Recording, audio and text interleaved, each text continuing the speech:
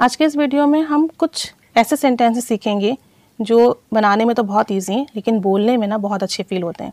अक्सर आप कहते हो, यही तो मैं कह रही हूँ। यानी जो सामने वाले ने कहा, आप कहते हो, मैं भी तो यही कह रही हूँ। या, मैं भी तो तुम्हें यही समझा रही हूँ। जब आप कहते हो, यही तो। इसके लिए हम यूज़ करते हैं this is what this is what और उसके बाद आपका जो भी टेंस हो, वो आ जाएगा। प्रेजेंट भी आ सकता है पास्ट भी आ सकता है कंटिन्यूस भी आ सकता है। यही तो मैं कह रही हूँ। This is what I am saying this is what I am saying कह रही हूँ कंटिन्यूस इसलिए आई एम सेंग आ गया। यही तो मैं समझा रही हूँ। This is what I am explaining to you this is what I am explaining to you यही तो वो करेगी। This is what she will do यही तो वो करेगी। This is what she will do अब ये फ्यूचर है तो फ्यूचर में आ गया। यही तो उसने सोचा। This is what he thought अब ये पास्ट है। This is what he thought तो दिस इज़ वॉट के बाद आपका कोई सा भी टेंस आ सकता है। और अगर आप यूँ कहते हो, वही तो।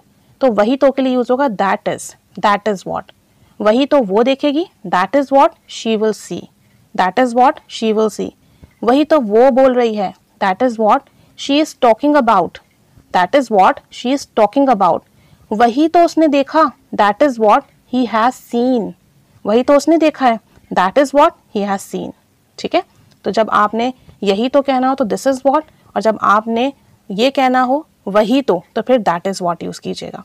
अब आप कुछ सेंटेंसेस बनाइए कि यही तो मैं भी बता रहा हूँ, या वही तो वो भी बोल रही है, इसको बनाइए प्रैक्टिस कीजिए keep staying with us thanks for watching